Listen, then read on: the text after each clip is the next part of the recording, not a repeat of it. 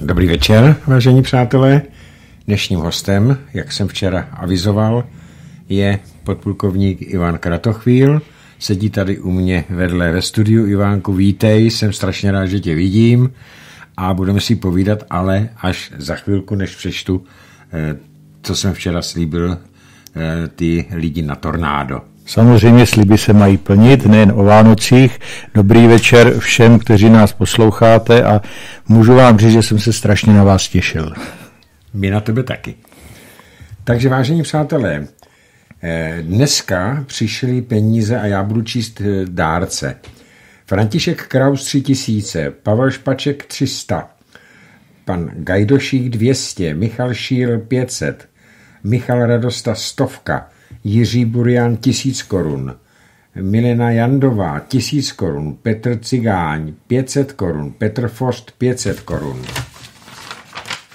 Eh, Karla Hanušová 200 korun, Vít Přibyl 1000 korun, Jarmila Fridrichová 500 korun, Renata Gregorievová 500 korun, Michala Auerová 1200, Eh, Pavel Dočkálek 200 korun, Lenka Poláková 1000 korun, Jan Dvořák 1000 korun, Olga Šabacká 2000 korun, Zdeňka Ogrodská 1000 korun, Josef Černý 500 korun, Anna Zavadilová 200 korun, Olga Králová 300 korun, Zuzana Kapunková 500 korun, eh, Mudr Josef Žižka 900 korun, Katarina Hanžlíková 2000 korun, Jana Hajková 500 korun, Miroslav Pfeiffer 1000 korun, Petra Komínková 1000 korun, Ludmila Bočková 500 korun, Vlastimil Douděra 1000 korun, Oldřich Bureš 300 korun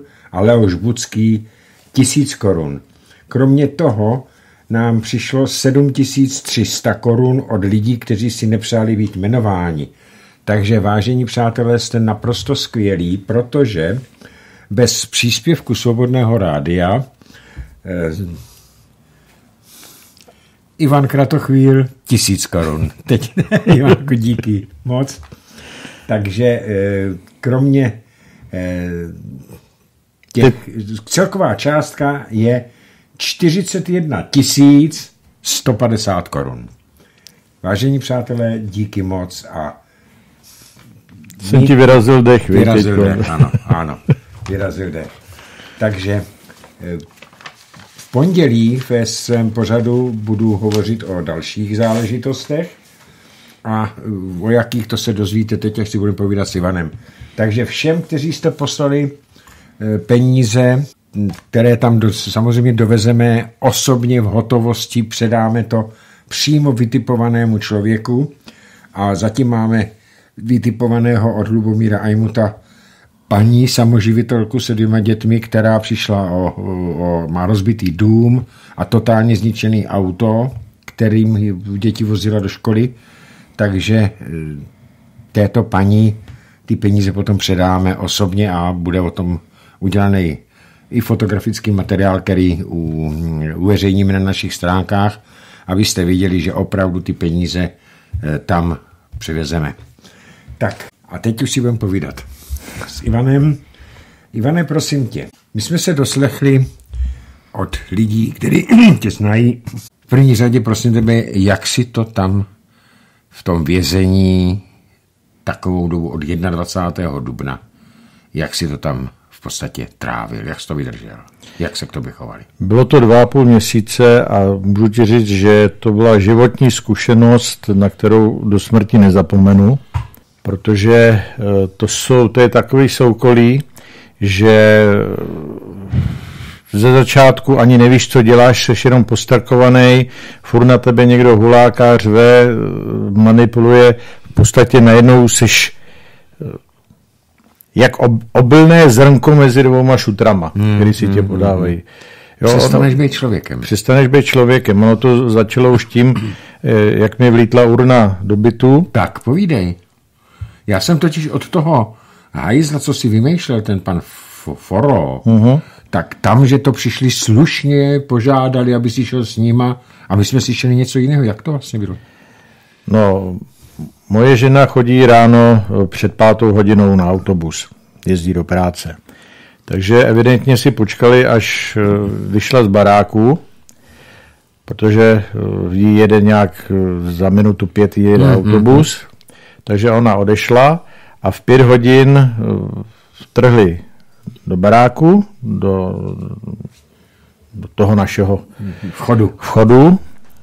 Šli tam tajně, řekněme, protože šli druhým vchodem, prošli sklepama, jo, jo, jo. Vyraz, vykopli dveře ve sklepě, aby se dostali nahoru. Mm, mm, mm. A je pravda, že vchodové dveře do bytu nevykopli, protože mám bezpečnostní, takže zvonili, bouchali, mlátili, hulákali, zbudili celý barák, jenom mě ne.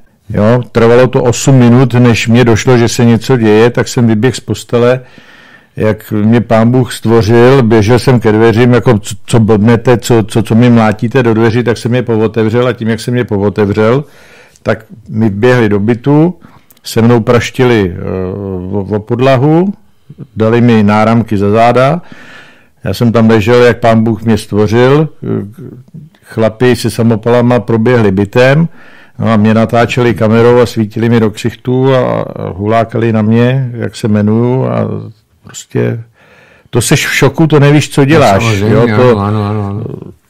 Jsem si musel vůbec vzpomínat, jak se jmenuji, když to, když, to takhle řeknu. Jako v tom okamžiku se ve mně až zastavilo srdce. No ale rozdejchal jsem to. to znamená, že my, co jsme viděli v televizi zatýkání Kájinka, tak to bylo naprosto stejný. Asi je to nějaký předpis nebo hmm. jednotný postup, jak to dělají. Je pravda, že kdybych byl, já nevím, pětinásobný vrah a držel v ruce pistoli, tak asi ji taky nepoužiju. Mm, jo? Že je to hmm, hmm. postavený mm. tak, že bez ohledu na to, jestli ten člověk má něco v ruce nebo nemá, tak prostě to nepoužiješ. Mm. Nestihneš. Jo? Je, je, to, je to psychologicky dobře zpracovaný. Dělali ti domovní prohlídku? Udělali mi totální domovní prohlídku, prošmědili to tam včetně sklepů, včetně aut, co, co jsou na parkovišti. Jo, měli vypsané všechny auta, které jsou v evidenci protože eh, já mám jedno auto na Slovensku, protože eh, se nám stalo, že to tam spláchla povodeň, takže to auto tam zůstalo. A jako 20 let starou Škodovku přepisovat ještě do jiného státu, to je finanční nesmysl, takže to zůstalo na českých číslech. Necháme to tam. Švára se rozmýšlel, jestli to teda hledá na, likvidovat. na likvidovat nebo v tom bude jezdit. Mm-hmm. Pak nakonec v tom snad začali vozit dříví nebo něco. No a tak to auto taky chtěli vidět, jo, tak jsem jim říkal, že jo, ale musí si dojít na Slovensko. Sebrali mi mobil, sebrali mi eh, v podstatě všechno, počítač ten eh, tam nechali, ale stáhli z něho veškerý data, včetně hesel a, a všeho možného, takže to, to, prostě když někam takhle vlezou, tak přijdou úplně na všechno. Mm, mm, jo? Mm, mm. To dokonce vytáhli papíry, o kterých jsem ani nevěděl, že tam mám hmm, jo, v tom hmm, bytě. Hmm. Je pravda, že potom se chovali už naprosto korektně, slušně, jo, jsme si už jako normálně povídali, stejně to byl, to byl obrovský šok. A odvezli tě rovnou? Až do večera, říkám, do 8 tam běhali. Když a ty jsi tam byl? Já jsem tam byl u toho. A přišla žena z práce? Když žena přišla z práce, tak to byl pro ní šílený šok. Jo?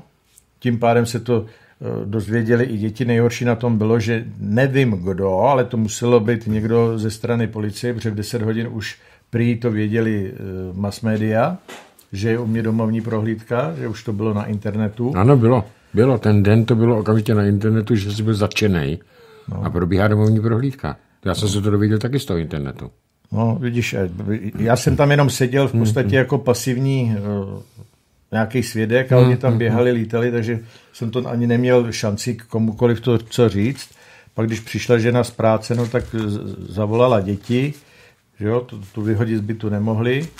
No a děti mi sehnali advokáta a pak už to začalo být trošku veselější, protože přišel advokát. Ten tam byl teda s náma taky až do konce, dokud se dělala ta prohlídka a pak mě odvezli do celý předběžného zadržení. To je kde? To je na Pankráci. Na Pankráci. Jo, a tam jsou policajti. To ještě není vězeňská služba, to jsou hmm. policajti. A tak, jak mě vzali, to znamená v džínách, košili, v tom spodním prále, mě, mě tam zavřeli a tam jsem byl dva dny.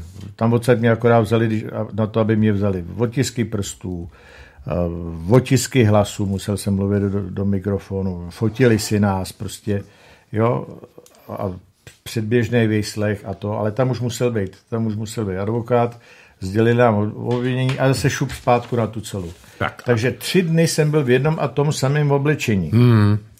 Jo, umí si představit, jak už jsem musel smrdět v pátek, takže smradlavej, nevoholený. Navíc, když je člověk ve stresu, tak, tak se potí tak se a potí. smrdí. Ano. Je to tak. Takže ano. smradlavej, špinavý, nevoholený hmm, hmm, hmm. jsem v pátek eh, byl odtranspor, odtransportovaný k soudu, kde mě takhle postavili. Viděl jsem v televizi. To tam bylo? Ano. No, vidíš to. Na internetu, když jsem si pustil televizi, tak to tam bylo, mm. jak tam stojí v černý roušce. No, náhubku. Ano, ano, ano. S třema policajtama. Ano, ano, viděl no. jsem. A za... jaký ti dali obvinění? Z terorismu. Z terorismu. Jsem, jsem organizátor teroristické skupiny a ještě navíc i financuju terorismus. Hmm, hmm, hmm. Jo, takže... Já jsem říkal, já jsem říkal, jak k tomu došlo, protože jsme se o tom bavili, že jo, takže my se nemáme bavit podle rady advokáta o případu. A nebudeme, protože, nebudeme. protože já jsem odmítl vypovídat, to znamená, na tohleto téma nesmím, nesmím mluvit. Takže my se budeme bavit o tom, co se smíme bavit, to znamená, jak si tam těch dva a půl měsíce trávil, jak to tam vypadalo. Já jsem v 77. roce byl ve vyšetřovací vazbě jenom 10 dní a můžu ti říct, že mi to stálo, že to stálo za to, protože tehdy jsem jezdil na výslech a tam nás mlátili teda, jo, tehdy. Uh-huh. Takže a působilo to na nás, ta samot, aspoň na mě ta samotka působila dost depresivně. No, já jsem měl za sebou dvě samotky. Protože na tom soudu, co jsi mě ještě viděl, no. tak tam si v podstatě můj advokát postěžoval, že eh, prostě tyhle ty vazby se zneužívají v, u nás, v našem soudnictví, protože než aby eh, policie eh, řešila věci před tím, než prostě toho dotyčního obviní, tak prostě někoho vemou, zavřou do vazby a pak se jdou ptát, jestli vůbec něco udělal nebo neudělal. Jo, že to prostě není korektní a máme neblahé prvenství v této oblasti v Evropě. Ano, máme jednu z nejdelších koluzních vazeb vůbec, ano. No. Protože podle zákona do 48 hodin by tě měli mít obvinit, ale pokud tě dají do ty koluzní vazby, to znamená, že podle výroku soudu by hrozilo ovlivňování svědků nebo no. útěk do zahraničí a tak dále, tak. takže oni tě tam můžou držet eh, jak těch dlouho, ano. víme od eh, dělnické strany, že tam v té koluzní vazbě drželi mladou holku a mladou kluka bez obvinění rok. Rok. No, to je je bez soudu pustili. Jo, nevím, jestli náhradu na státus, to nevím, to jsem se už nebal, ale no. ano, máme jednu z nejdelších koluzních vazeb eh, v Evropě. No, takže u, u tohle toho soudu soud, přestože můj advokát tam v podstatě dokázal, že je to nesmysl, hmm. tak eh, bylo rozhodnutý, že hrozí jak můj útěk, tak to, že budu ovlivňovat svědky, takže jsem to dostal v plné parádě. A e, navíc, aby potrestala pravděpodobně soudkyně mého advokáta, protože on dával příklad v tom, že když on jde na pankrác e, za svým klientem, tak mu berou i notebook, což dneska je šílený, protože všechno se předává elektronicky, všechno se vede elektronicky ale on s klientem prostě nemůže normálně mluvit, protože tam ten notebook nemá. Ano, nemůže pracovat, jo? protože ty materiály tam nemá. Ano, ano, ano. A přímo jmenoval eh, pankrátskou věznici, že ta je tím vyhlášená, no tak díky tomu jsem se já dostal na pankrác. Hmm, hmm, hmm, hmm, hmm. Jo? Čím vznikla velmi zajímavá jako situace, protože eh, tím pádem z těch pěti obviněných, který jsme, tak jsme byli na pankráci dva, takže mě potom hned po třech dnech odváželi na Ruziň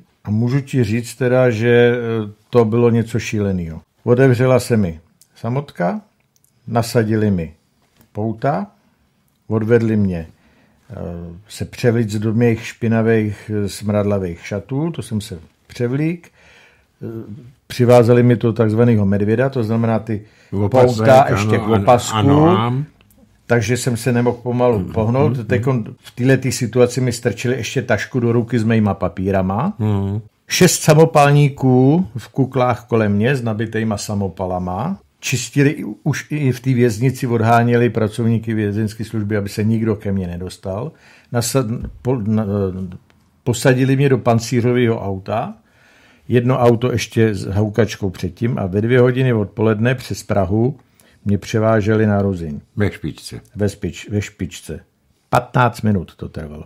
Teď já jsem tam seděl v té kleci. Takže jeli jak blázni. Jeli jak blázni. Já jsem seděl v té kleci, přesto byl hozený hadr, takže jsem neviděl nic. Takže když to auto vzalo obrubník, tak jsem já vzal hlavou mm, pancíř. To byl zážitek další, který prostě eh, byl šílený. No a přivezli mě na Ruzi. A tam mě zase strčili do kopky. Dvakrát čtyři metry, tam postel, záchod, umyvadlo, skládací stolek, protože normální stůl se tam nevešel. Hmm. Rozsvícený světlo, kamera, 24 hodin dohled, takže venku se setmělo, mě se akorát víc rozsvítila zářivka, aby na mě viděli a tak, tak, takhle se na mě svítilo, každou chvíli se na mě někdo chodil koukat. Když jsem se mil, tak se na mě koukala kamera, když jsem si sedl na záchod, tak se na mě koukala kamera. Otevřel se, dvířka se otevřely akorát na snídaní, na oběd a na večeři a jednou denně v pracovní dny se přišel na mě podívat eh, šéf a zeptal se mě, jestli mi něco nechybí. Zaplať pán že mi dávali knížky. A protože eh, v těch věznicích se knížky většinou používají k tomu, že se z toho někdo balí cigarety, tak párkrát se mi stalo, že jsem si rozečet knížku a pak jsem najednou zjistil, že tam 50 stránek chybí. Jasný, ano, ano, ano. A zaplať pámbu za, ty to musím říct takhle za starý režim, protože z té doby tam byl, byly knížky od Dostojevského, hmm, Bulgakova, hmm, hmm. prostě eh, klasika světové literatury, takže bylo co číst. Aspoň.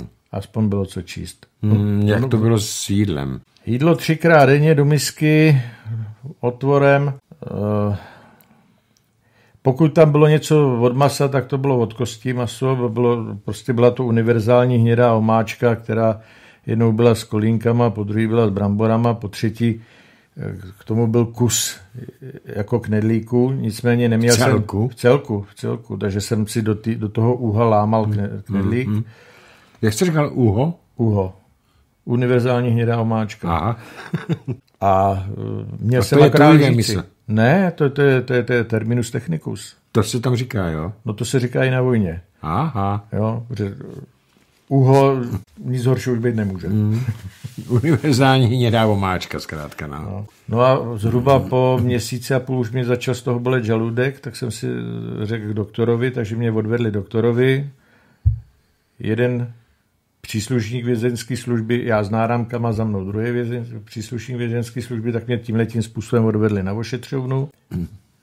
Lehněte si, tak jsem si leh, když jsem si leh, tak mi sundali náramky, doktorka mě prohmatala, odstoupila, nasadili mi náramky, můžete se posadit a eh, dali mi dietu teda, jo, takže pak už jsem viděl i, že existuje třeba takový jogurt, dostal jsem i kousek masa, mm. viditelně jako plátek, mm, takže mm, pak už to bylo lepší.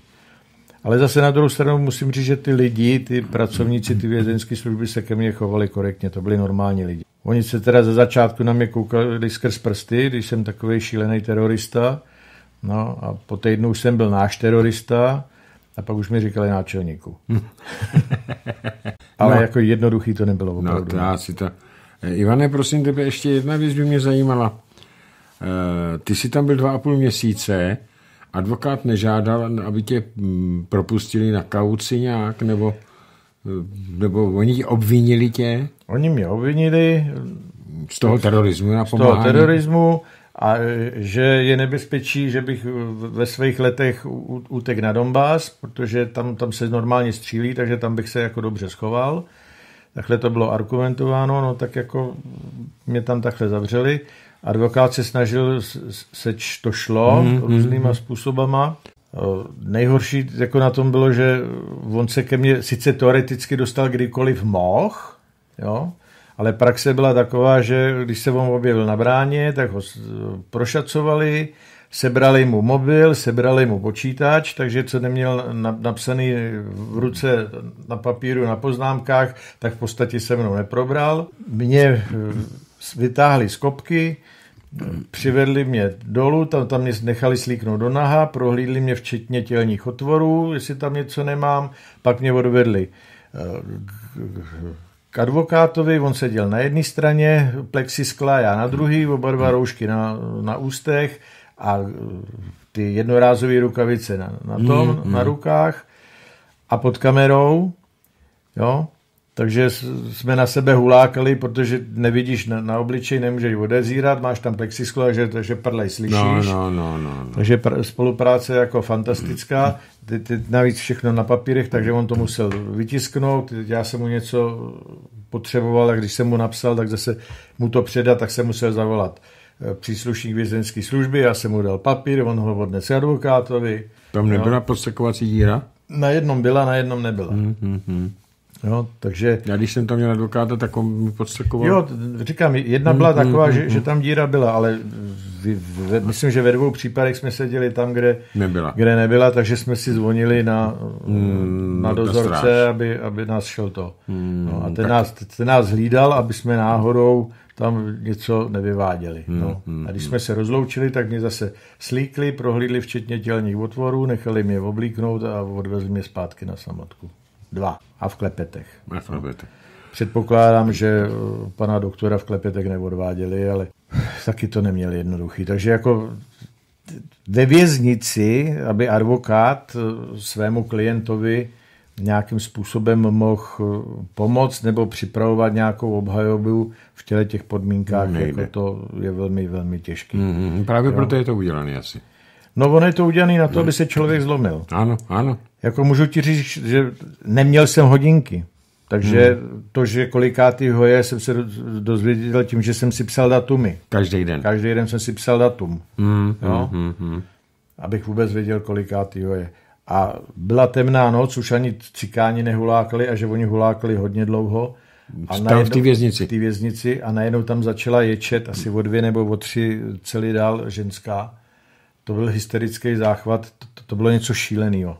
Hmm. Jo? Až mě to zbudilo, to hmm. to drnčilo od, hlub, od hlubokých hlasů, od toho basu až do vysokého tenoru. Viděl jsi film Vymítač ďábla? Ne. Tak jestli ho někdo viděl, tak tam je krásně znázorněný jako při exercismu, co ta ženská vyvádí, jak ječí. Hmm, hmm. Tak přesně tohle to byl ten záchvat. Je. Yeah, yeah, yeah, jako to, je, to, je, to je šíleně depromující. No. A jinak oni tam opravdu tam řvali ty lidi v té věznici? No tam po sobě hulákali, to, to už normálně fungovala jakoby pošta, protože oni, tam je uprostřed dvůr, takže tam se to odráží, no. takže hulákali do oken a, a, a Franto a, a Jožo a to a, ty, a tenhle ten mě udal a tenhle ten je zmetek a, a, protože je to vazební věznice, jak jsou tam chlapí ženský, takže je a jak se jmenuješ a odkud seš a, a, a už Miláčku, já tě miluju, oni v životě neviděl, no, slyšel no, jenom, no, jo, no, prostě a... Jasně, to... jasně, to se tam děje. Uh, Ivane, je, řekni ještě jednu věc. Uh, my jsme tady okamžitě, jak jsme se to dozvěděli, tak jsme rozjeli akci na Svobodném rádiu. Spojili jsme se s Pepikem Skálovým a snažili jsme se ti sehnat opravdu dobrýho právníka, protože jsme neznali právníka, který uh-huh. máš ty. Podle tvých slov je teda dobrý taky. Vynikající. A eh, či já si tvrdím totiž jednu věc, čím víc právníků, tím, víc, tím víc hlav, tím víc rozumu. Čím víc proužek, tím víc Adidas. No. ano, ano, ano. A, no, takže my jsme se tím snažili to nějak k tobě dostat. Strašně vám děkuju, protože ke mně se potom s nějakým spožděním dvou, tří týdnů tyhle věci, jako tyhle nabídky dostali. Jo? Vím, že tam um, byla nabídka od doktora Zavadila, Vyvadila. Vyvadila, vyvadila. vyvadila. Uh, ještě, ještě, myslím, dva další mě oslovili. Mám to ve spisu. Strašně těm pánům děkuju, že jsem jim stál za to, aby mě vlastně oslovili. Vážím si toho, protože jednak je vidět, že jsou to vlastenci, že jim jde o, o tuhle tu věc a jako to člověka potěší. A když, když už se bavíme o tomhle zájmu, tak co mě opravdu vyrazilo dech, když jsem vylez ven, bylo, že jste na mě začali dělat sbírku. Jako no, lidičky, no. jako... To bylo první, s čím jsme přišli, jako Svobodný rádio. Ale ono to s tou sbírkou je trošičku je, je, je, to, špatný. je to špatný, no, protože samozřejmě bylo, veš, bylo obrovské nadšení, já vám za to děkuju, nicméně je to právně tak postavený, že je to na nic, protože je použitý účet politické strany. A nesmí být použitý A to, na to nic. nesmí být použitý na nic jiného, než na činnost, činnost té strany. politické strany.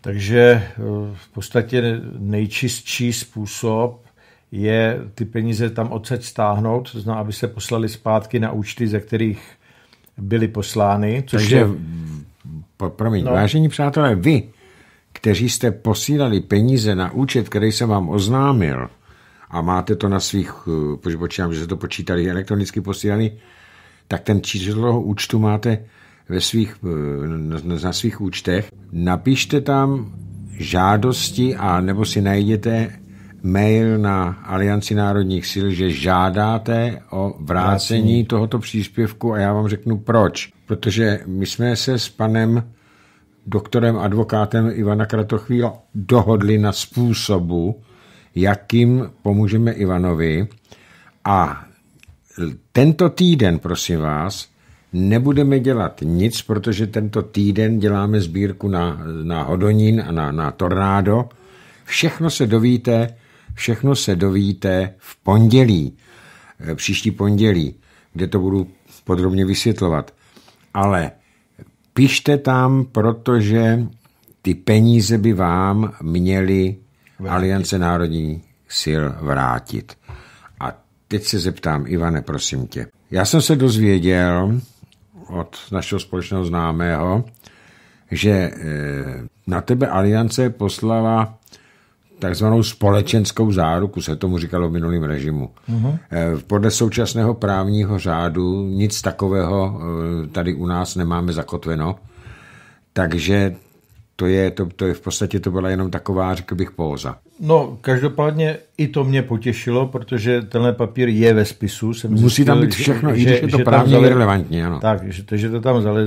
Ono to nemá žádnou právní ne. sílu, nicméně je to nějaký, nějaké gesto, jo? Já ano. si toho vážím. K tomu, abych se dostal z vazby ven, samozřejmě, tak eh, byla potřeba i nabídnutí té takzvané společenské záruky, nicméně to musí udělat fyzické osoby. Jo? Takže e, za mě podali záruku tři fyzické osoby. Jedním z nich je můj syn e, Michal, druhý je můj dlouholetý přítel e, Láďa Juna, se kterým jsem běhal tenkrát po Sibiři, ta moje sibirská abnováze, on se ano, na ní to podílel. Povídal, ano. Takže ten, ten dal jako druhý osobní záruku a třetí záruku za mě dal emeritní arcibiskup pražský a metropolita českých zemí a Slovenska Vladika Krištof z pravoslavné církve. Což bylo gesto teda obrovské, mě to jako strašně potěšilo a dojelo, protože když člověk takového formátu mu za to stojím, aby zvedl, jak se říká, zadek a napsal a byl odhodlán jít k soudu s tím, že prostě e, nejsem takový e, zmetek, e, udavač. A co to ještě po mě říkala Četečko?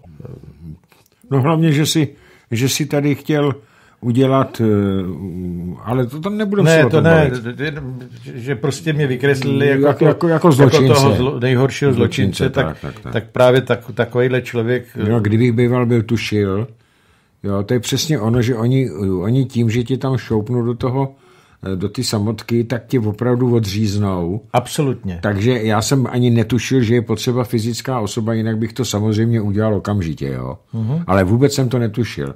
Nicméně tyhle ty tři lidi stačili, že tě mohli pustit na kauci.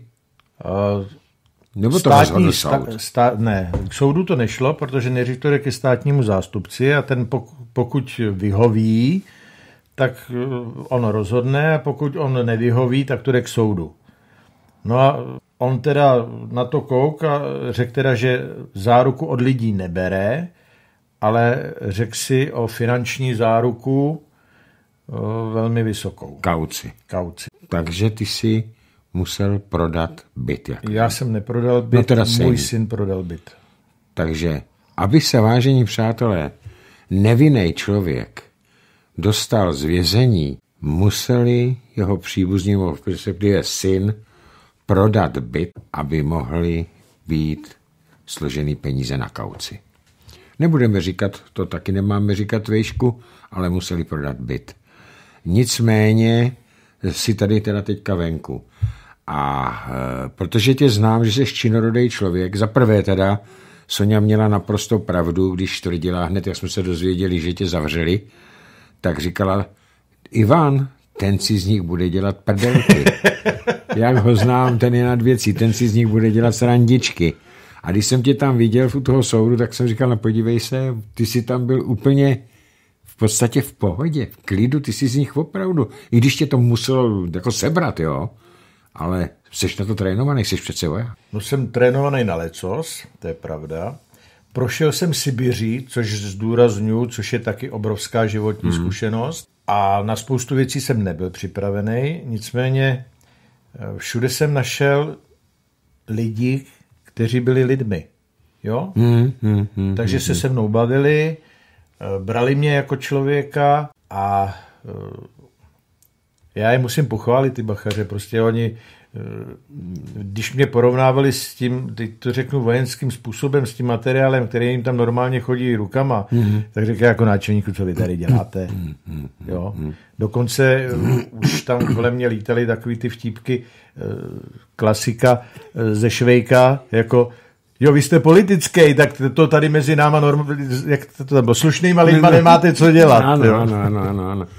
Jinak z- dotaz, prostě poradil mi tu jeden náš posluchač. E, ty jsi byl u bojových vojáků anebo u válečných vojáků? No, Já ti pak řeknu, proč se ptám. já vím, jestli jsem se válel, nebo jsem se bál. No, já jsem musel Já jsem to neznal, já Já, jsem to já neznal. jsem musel sloužit. Já jsem to neznal, jo, tenhle ten vtip. Eh, tak. A teď zase vážně, Ivane. Jak se k tobě zachovala Aliance národních sil, když jsi její místo předseda? Podle listiny práv a svobod, podle základních hm, charty základních eh, lidských práv, se všude v civilizovaných zemích a v civilizovaných společnostech, to znamená včetně politických stran, vyznává, pokud se nejedná o totalitní autoritářský režim, presumpce neviny. Jak se k tobě zachovala Aliance národních sil? Já to vemu trošku oklikou. Bém to, jak chceš. Eh, Nemám mobil.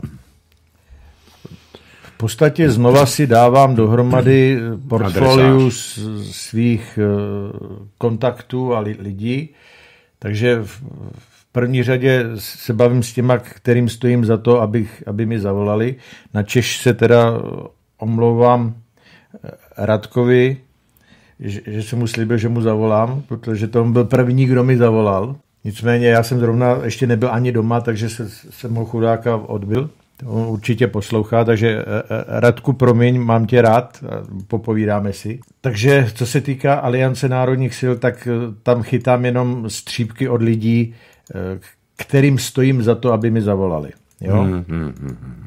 Takže jsem se dozvěděl, že díky tomu, že jsem byl zavřen za věci, které jsou mi teda kladeny za vinu, tak mi byla poza- pozastavena eh, moje, eh, jak se tomu říká, funkce, Členství. členství, a funkce v předsednictvu. Takže jsem byl postavený v podstatě mimo, Mimo- jako mimo, mimo službu nebo mimo to. Takže nemůžu o ničem rozhodovat, ni- nic nevím, nic neznám.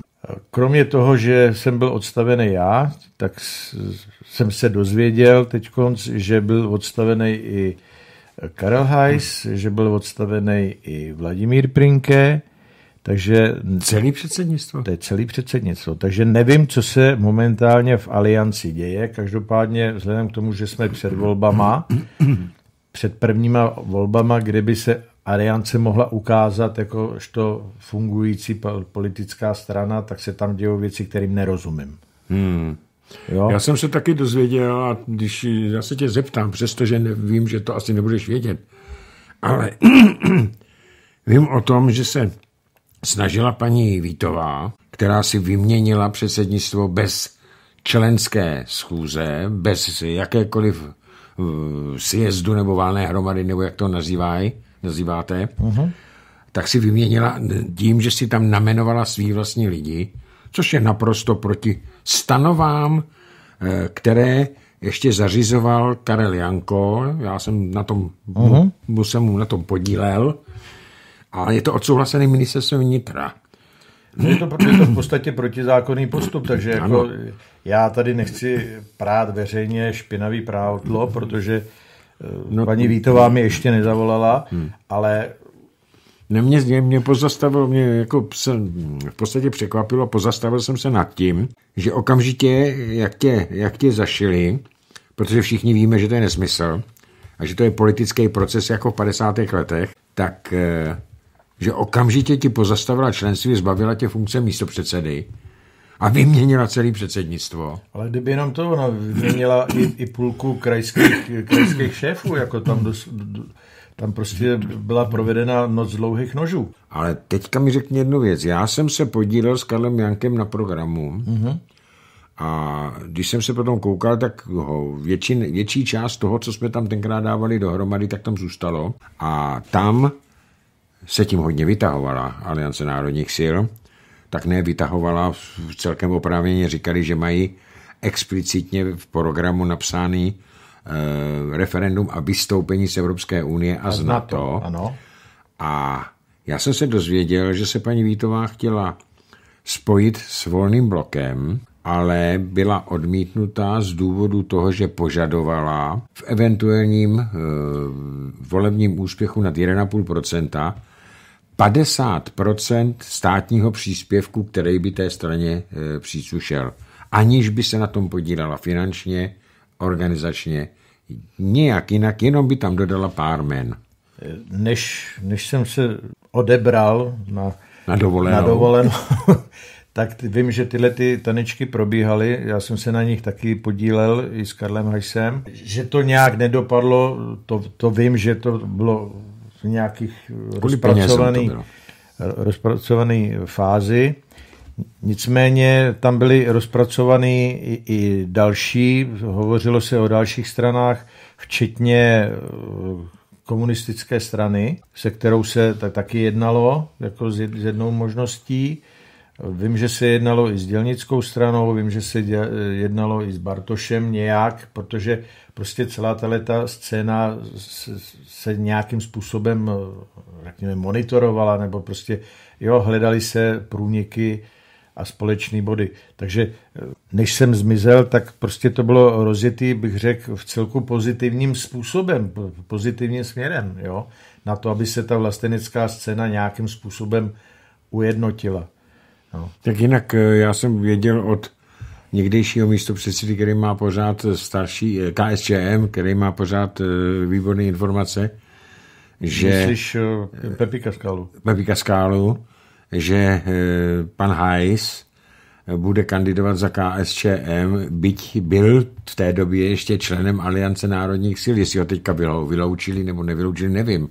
Ale ne, že... tam, tam, tam měla být nějak dohoda, že Eh, aliance dá některé lidi na kandidátku jako, zás, jako ANS. Jako ANS, mm-hmm. vyloženě na kandidáce KSČ s tím, že tam je, bude, že je za ANS, aby mm-hmm. byla jako ta, ta, ta, ta provázanost vlastenecké scény, aby byla prostě nějakým způsobem takhle jako... Dodržená, tak jasný. Deklarovaná. Eh, teď se tě zeptám, eh, dověděl jsem se, že se jednalo nebo jedná aliance s tím chcípl pes, ono se to jmenuje teďka nějak jinak, ale ty, to jsou pražští, pražští restauratéři, ti mají ve svém programu něco podobného jako šlachtova přísaha, to znamená nevystupovat z Evropské unie a nevystupovat z NATO.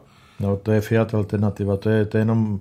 Jak ale se může strana ANS spojovat eventuálně do voleb s, těm, s tím chcípnutým psem, když tam mají zásadní rozpory, ty, ty zásadní rozpory v nahlížení na politiku České republiky. Já to naprosto nechápu.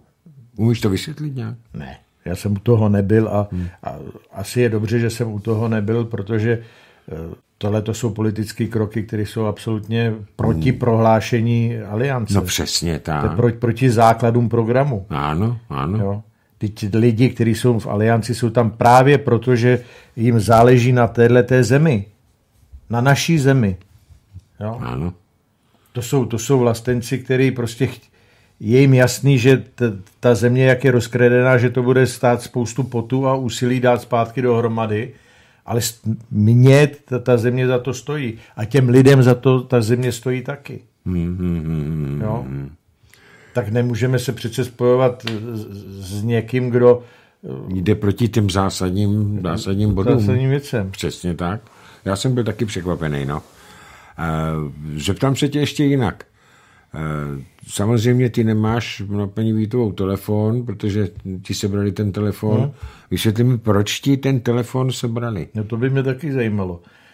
Kdyby jenom telefon, oni mi se, sebrali i autoatlas auta. A vy jsi si podle autoatlasu neujel náhodou na Donbass? Asi.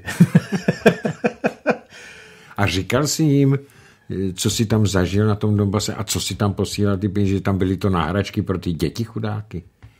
A oni se mě nic neptali. Jo, vlastně ty si řekl, že nebudeš vypovídat. No. oni, oni furt se mě ptali na jiné věci, ne, ne, ne, ne na Jasný.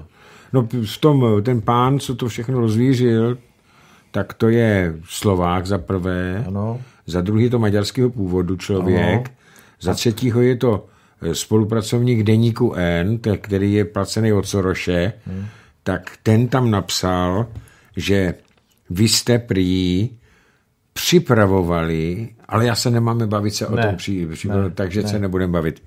Eh, zkrátka dobře, to jste nepoznali, tohle toho člověka, ty jsi s tím jednal, že to je hajza? Já jsem s ním jednal a když už vyjmenováváš, to všechno je, tak za mnou přijel v autě s polskou poznávací značkou. Už jsme u toho, že to Maďar žijící na Slovensku, no. tak ještě navíc jezdí s polským autem. A eh, on přišel s tím, že je novinář a že chce eh, popsat činnost československých vojáků v záloze za mír. Což pro mě byla obrovská jako pomoc, protože jsem viděl, že něco jako kroniku potřebuju, aby někdo napsal.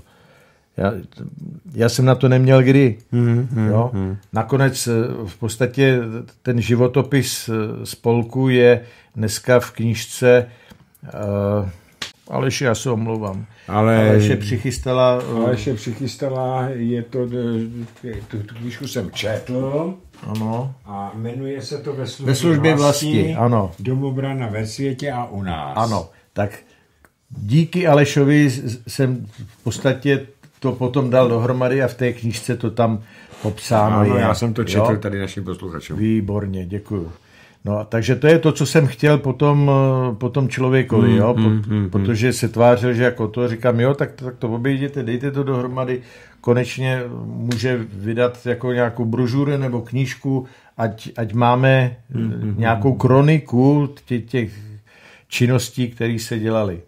No, protože všechno, co lidi dělali, tak dělali proč? Proto, protože cítí, že tahle země prostě tak, jak je momentálně současně vedená, tak jsou tam určité dlouhodobé systematické chyby. Chybí braná výchova. Braná výchova je deklarovaná ministerstvem obrany. Já mám školení pro, pro výchovu mládeže jakožto učitel, abych mohl vychovávat hmm. branou výchovu, ale na ministerstvu obrany se tomu věnují tři lidi hmm. Hmm. na celý stát. Hmm. Hmm. Jo? A když my jsme Spíše začali... nevěnují. Spíš, no, tak přehazují papíry. A když jsme my začali v tomhle směru prostě fungovat, že jsme začali dělat dětský dny, v podstatě eh, dětský tábory s, braně, s branou tematikou, s, obra, jo, s obrana vlasti, vlastenectví, no tak jsme dopadli, jak jsme dopadli. No. Mm-hmm. Jdeme, jdeme eh, jinam, protože o těchto těch věcech se budeme potom bavit, až bude potom, potom celým u konce tohleto věc. Jo. Až, až, až, až bude po soudech. Až bude po soudech. Eh, zeptám se tě eh, jinak. Ivane, ty jsi pracoval na letišti. Pracuji. Pracuješ? Teoreticky ještě pracuji. Jak se ta vazba dlouhá projevila na té pracovní pracovní eh, náplně. V podstatě si přišel o peníze tím, že si nemohl chodit do práce, to je jasný. Tím, že jsem nemohl chodit do peníze, eh, tím, že jsem seděl tam, tak jsem samozřejmě mi naskakovala nepřítomnost práci. Nicméně mý nadřízení z firmy jsou profesionálové na vysoké úrovni, jsou to lidi, kterých si vážím a pravděpodobně i oni si váží mě, takže zatím mi místo drží. Oni by totiž klidně pro tu dlouhou Oni kdyby, oni kdyby chtěli, tak už, jsem, tak už jsem na pracáku. Ano, přesně tak, jo? tak tě mohli propustit pro, pro nepřítomnost práci. Ano, zatím, zatím, takže, jsou, takže jsou féroví teda. Jsou féroví. No nicméně do práce nemůžeš chodit. Do práce nesmím chodit, no. ale jako jsem zaměstnaný jako na překážce.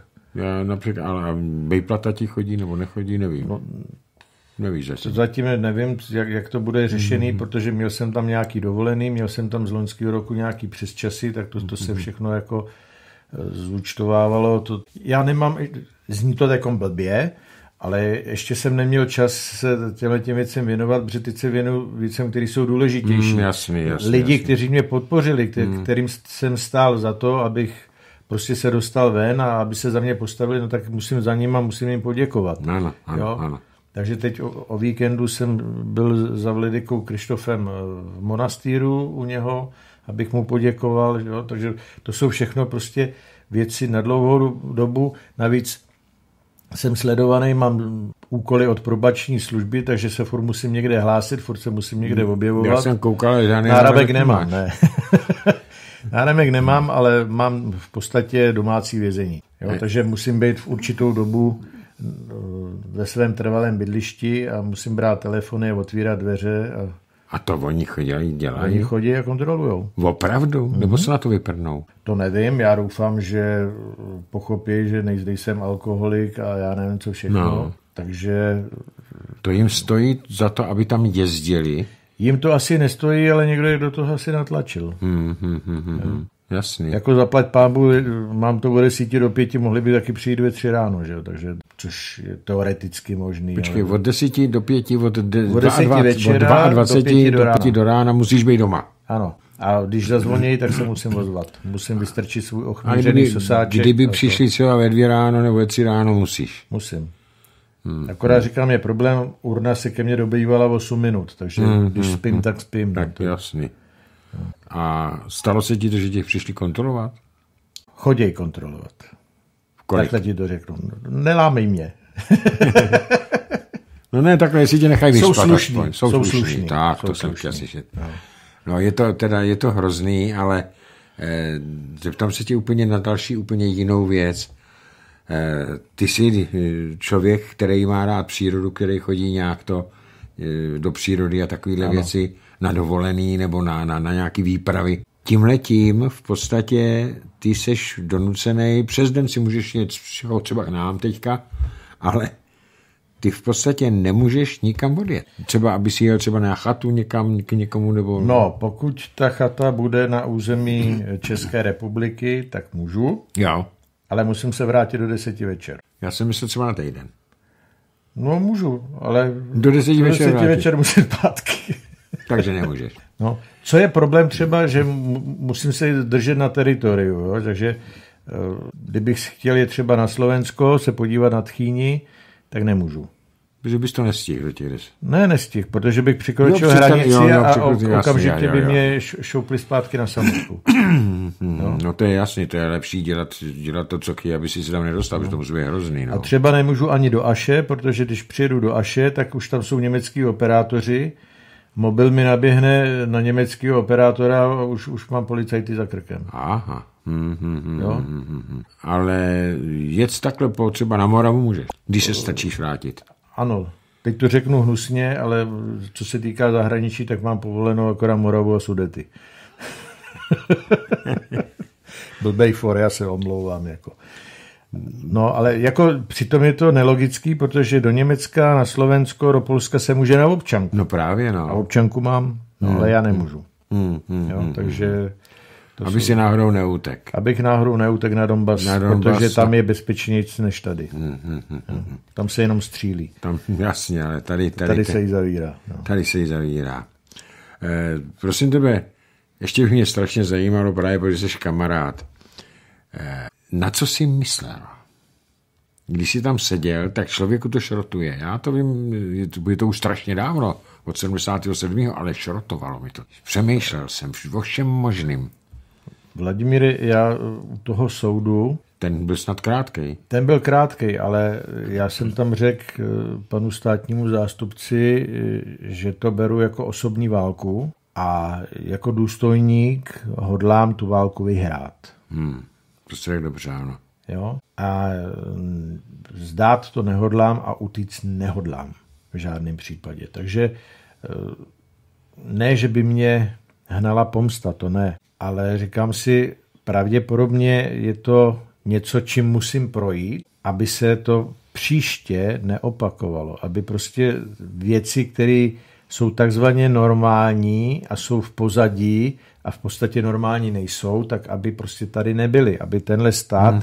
zase se stal státem, kde bydlí lidé, kteří jsou hrdí na to, že bydlí v tomto státě. A nemusí se to stydět. Nemusí se za to stydět.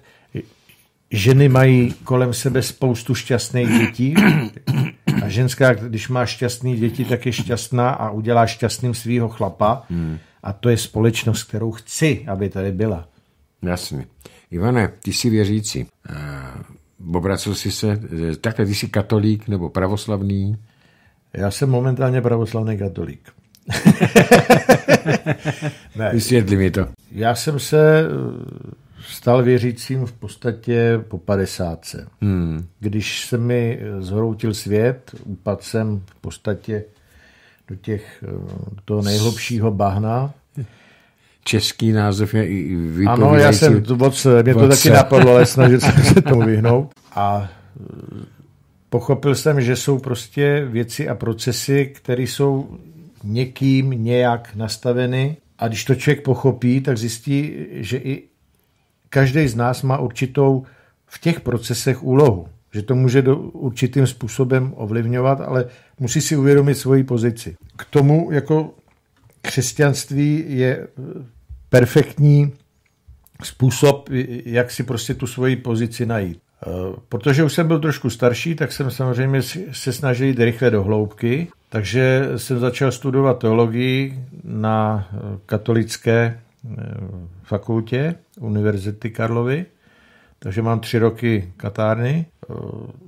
Nemám ukončený bakalářský vzdělání, protože bych musel napsat práci a na to už jsem byl jiný. Hmm. Jo? A taky jsem už začal v té době jezdit eh, na Sibiř, takže říkám, titul mám jako další nepotřebuju, kněze mě nebude, tak co? No a eh, běhal jsem po Sibiři, vrátil jsem se ze Sibiře, proběh jsem zase pár, eh, řekněme, osobních nějakých těch, jak to říct slušně, Peripetí. peripetí, děkuju. A potkal jsem se s pravoslavnými lidmi a to pravoslaví mi dalo odpověď. Jo? A pravoslaví i mě otevřelo, řekněme, mystickou část světa.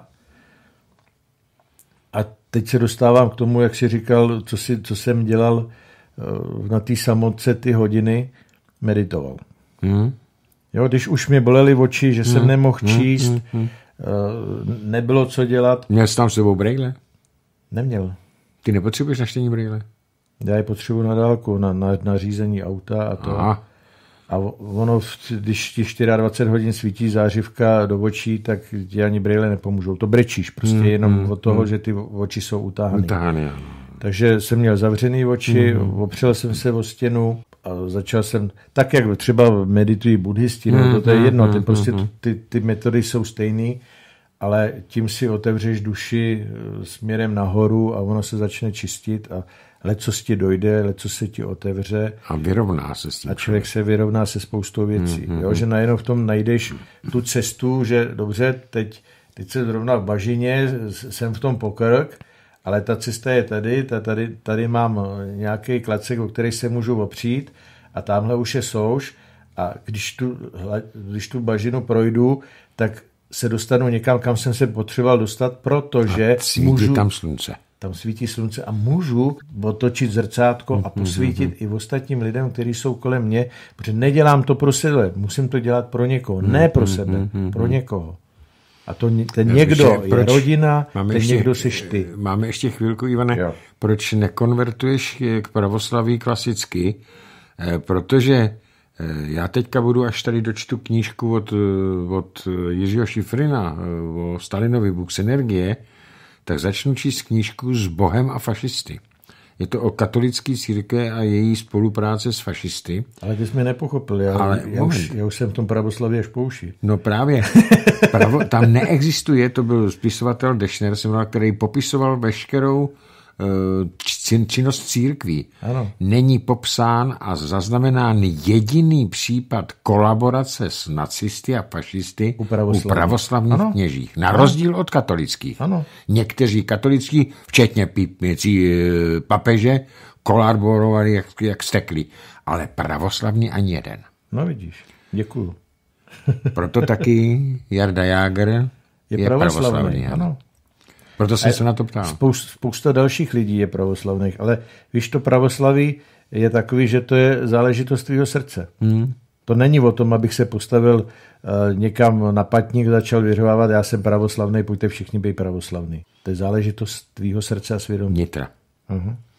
Vážení přátelé, první hodinka povídání s Ivanem Kratochvílem já, uh, uběhla. Já jsem strašně šťastný, Ivan, že jsme si mohli popovídat, protože já jsem měl hroznou hruzu, jak dlouho tě neuvidím a jak dlouho tě neuslyším, protože když jsem věděl, co tam dokážou dělat, takže zaplať pán Bůh, že tě eh, aspoň po těch dvou a půl tisících uh, letech pustili, že jsme, že, že jsme se mohli takhle posetkat. A vy, vážení přátelé, můžete samozřejmě už teď psát eh, dotazy na Ivana Kratochvíla na telefon, známý telefon Studia Beta 731 720 756. My si teďka půjdeme, Ivan už tady eh, má chudák dopito a je tady vedro, tak se budeme občerstvit, pustíme si nějakou písničku a ve čtvrt na devět se budeme těšit na vaše dotazy. Ivan určitě vám bude odpovídat. Jenom prosím, aby ty dotazy nebyly směrovány na, na věci, o kterých nemůžu mluvit. Samozřejmě, kdyby no. tam byly ty věci, tak já to usměrním, ty, ty se tam psát nemůžou, protože se nemůžeme bavit o živém případě. Tak. To je, to je, to je zákon. Takže, vážení přátelé, ve čtvrt na devět opět naslyšenou. Tak máme po přestávce, Ivan se občerstvil. Ivane, ještě jednou ti přeju dobrý večer. Dobrý večer všem. A ještě jednou ti musím poděkovat za dar pro oběti tornáda a vůbec si za to, že jsi zase tady. Já jsem strašně rád a když můžu, pomůžu, protože svět je zrcadlo a když člověk pomáhá, tak pak je mu i pomoženo. Já to mám teď v živé paměti, tak vím, jak je důležitý v daný okamžik rychle člověku pomoct. Tak začneme hned otázkami, které přišly. To si zatím brát nemusíš uh-huh. až na telefon. Jo. Eh, jinak, vážení přátelé, telefon je zapnutý. Sluchátka máme připravený, protože bez sluchátek my z telefony neslyšíme. A já přeštu sms -ku. Jsem přešťastná, že mohu slyšet pana Kratochvíla. Patřím k jeho velkým příznivcům. Děkuji. Je skvělý, vše přežil s humorem, nadhledem, upřímně to sděluje. Mám pro něj otázku. Za všech těchto okolností neuvažujete o odchodu ze strany ANS? V alianci národních sil je spousta lidí, kteří mi věří a který věřím já. A jestli k tomu dojde, může k tomu dojít, já neříkám, že ne, protože každá parta eh, funguje na základě nějakých pravidel a musí tam být oboustranný zájem. A důvěra, a důvěra. vzájemná, ta tam asi nebude. Uvidíme, eh, nepředjímejme dopředu. Pokud eh, to bude takový, že budu odejít, tak budu odejít, ale zatím je tam spousta lidí, kterých se vážím, kterých si vážím, a takže eh, uvidíme. Uvidím, uvidíme. Tak, máme tady první telefonát. Dobrý večer, už jsme si vzali sluchátka. Dobrý večer, pane Kapale. Dobrý večer, pane Kratochvíle. Dobrý Tady večer. Věra z Kutné hory. Strašně moc zdravím Ivánka. Opět s manželem sedíme pozoru u stolu a posloucháme. Děkuju. Teďka eh, to zlehčím. Měli jsme absťák. já, já taky, já si nemůžete to... já teda žádnou otázku nemám. Vlastně jednu jo. Tu, co používá pan Kapal často. Kde to jsme? Kde to jsme, když člověk, který miluje svoji vlast nade všechno, vypravuje takovýhle věci, které kdyby kdokoliv jiný říkal, tak věřit nebudu. Vám věřím každý slovo. Dál ještě otázku mám nedávno vlastně po těch vrběticích byla tady taková iniciativa, psal se otevřený dopis Putinovi, podepisalo to více než 2,5 tisíce lidí, e, že se distancujeme od toho všeho, co prostě tady propuklo, to šílenství proti Ruské federaci.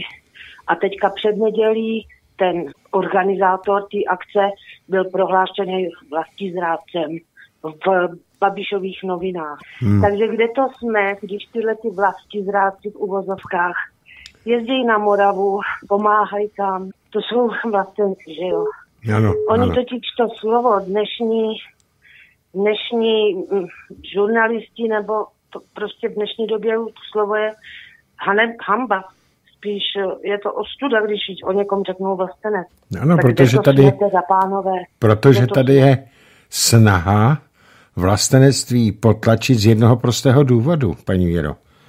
Oni potřebují zničit národní hrdost, ano. oni potřebují vymítit z myslí lidí historickou paměť a potřebují z nás udělat euroobčany, ovce, kteří budou sledovat bezuzdně blbé seriály, platit daně a nechat se podřezávat eh, afro, afro-arabskými migranty a to oni potřebují. Proto dneska slovo vlastenec u těchto těch eh, lidí Prostý, eh, prostý slovo. Ale Ivane, uvědom si jednu věc.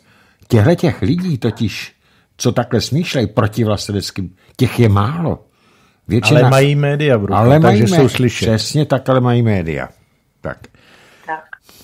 Tak vám děkuju. Přeju, pane chvíle, ať všechno dobře dopadne. Myslíme na vás, jsme srdcem s vámi. Doufám, že se potkáme na některým svazu vlastenců. Stoprocentně. Už se na vás těším.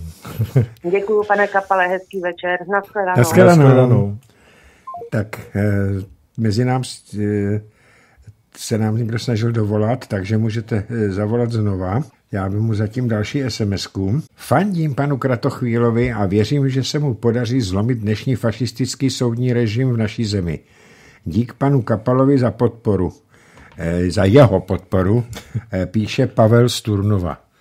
Tak co by si skázal panu Pavlovi Sturnova? Že si strašně vážím každé podpory, která je vyjádřena a ve společenství takových lidí se vždycky žije dobře. Ať, ať, ať, ať je prostě jakákoliv akce proti I když akce. je to doba, která je vymknutá z kloubu a šílí. Ale my ji srovnáme. Ale. Tak máme další telefonát. Dobrý večer. Dobrý večer, tady Petr Filipov. Já jsem slíbil, že nebudu mluvit o případu, ale chtěl bych se zase zásadit na dvě věci. Jedna, který má pobyt pana podplukovníka Kratofela na Sibiři. Strašně rád bych si přečet třeba nějaký cestopis, nebo si něco pepsal takového, nebo nějaký článek o tom, jestli něco takového existuje, nebo jestli hodlá sepsat, tak určitě bych měl velký zájem si to přečíst. A, a druhý dotaz, takový jo, já, já jsem jako ruského původu podědový a můj děda pocházel z, ne z Donbasu, ale těsně na východ od toho, jako od Donu. A já jsem byl, nebyl jsem v dědově logišti, byl jsem v Luhansku, jsem pobýval nějakou dobu, jo, to ano.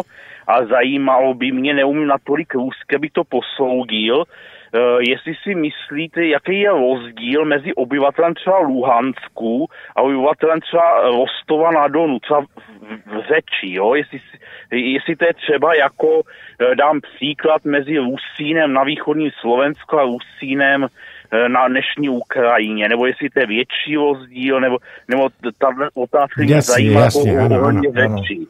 Ano. Takže děkuji asi všecko, takže já budu poslouchat dál v rádiu. Děkuji Děkujeme, vám. Ano. Tak Naschledanou.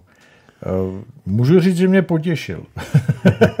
ono v podstatě levobřežní Ukrajina od Dněpru dál na východ, to je oblast, která byla dlouhodobě obývala kozáky. To jsou, to jsou ty kozácké stanice. Tak jako my máme Chocko ano, na západě, ano, ano, ano. tak eh, v podstatě ruské impérium má tady dole u těch jižních hranic natáhnutý pás kozácký, a v současné době ty tradice kozácké jsou nejvýraznější právě v Rostově na Donu. Ale nicméně i to, co je kolem do, Doněcka, řeka Doněck, hmm. což je v podstatě město Doněck, jako ten, no, ne jako hlavní město, řekněme, nebo prostě no, takový to centrum. Je to v podstatě, jo, ano, tak je to, centrum té oblasti. Ano, tak eh, historicky to je v podstatě jedna oblast, na ruský poměry normální, na naše obrovská. A to, to jsou lidi, kteří jsou kulturně zpřízněni a oni jsou i rodině zpřízněni. Tam ty kozáci prostě se navštěvují a, a oni si i vzájemně pomáhají. A rozdíl v řeči? Mm, rozdíl v řeči po druhé flašce vodky nulovej. ne, oni opravdu jsou provázaný. A tam mm. jsou tak silné rodinné vazby, že když začneš ubližovat kozákovi v Rostově, tak ti kozák z Doněcka přijde... Uh, Rozbit hubu. Tak. jo? Máme tady další mm-hmm. telefonát. Tak eh, dobrý večer, už si můžeme povídat. Dobrý podvečer, pane Kapal, dobrý podvečer, pane Krom, eh, Kratochvíl. Eh, já se sice žádnou otázku nemám, a rád bych ale okomentoval tu situaci s ANS. Je podle mě nesporné, že jde o předvolební boj, že uh, útok je na ANS, rozbídí, zřejmě je tam i nějaký spolupracovník a podle mě Hamáček, teda firma Hamba. Ano a Hamáček. No a uh, vy jste byl nejúčinnější a nejměkčí cíl pro rozbití uh, ANS. To je vše a budu poslouchat. Tedy hezký podvečer a naslyšenou. Naslyšenou. Naslyšenou, děkujem. Tak eh, já bych neřekl, že ty jsi byl ten, který, přes který by ho měli rozbít. Protože ty si neuhnul ani o milimetr. No. Pokud vím, tobě byla, tobě byla trpně, ty jsi byla pozastavena činnost. Uh-huh. A zbaven si byl své funkce. Uh-huh. Bez tvého přičinění, takže nevím, že by tam byla snaha rozbit ALS ale, přes tebe. Ale já jsem vinen tím, že jsem se narodil, ty jsi to ještě nepokopil. Takhle já to taky nechápu, abych se ti přiznal, znova to zhruba opakuji, co jsem říkal. V normální slušné společnosti, v demokratické společnosti se vyznává prezumce neviny. A to se týče i členství v politické straně.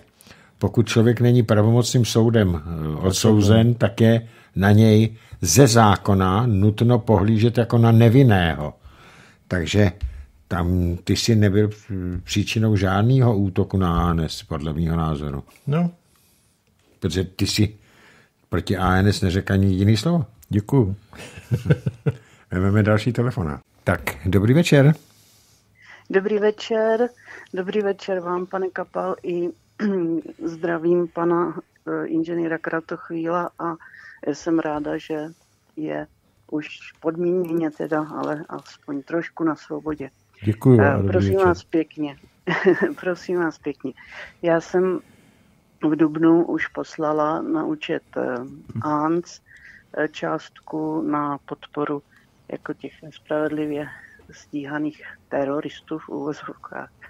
A když jsem poslouchala teďka vaši relaci a i pana e, inženýra Kratochvíla, tak jsem e, se rozhodla, že požádám o vrácení daru. E, obratem mě e, ANS odpovědělo, že podepsalo darovací smlouvu se spolkem Zemská domobrana a převedlo jim postupně již 45. Takže bych byla ráda, kdyby nějakým způsobem se tady ty peníze dostaly k panu inženýru Kratochvílovi, kde teda píšou, že dostává 50% z té částky a 50% z té částky dostává přemysl Ivan Hadrava.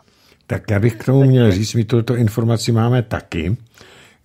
Dokonce mám to na mailu, ale dostal jsem, dostal jsem to až teprve během v průběhu našeho pořadu s Ivanem. Já to dostala, teďka je to asi pět minut, no, protože tak. na základě té vaší hodiny, kterou jsem poslouchala. Tak já vám k tomu něco řeknu, prosím vás.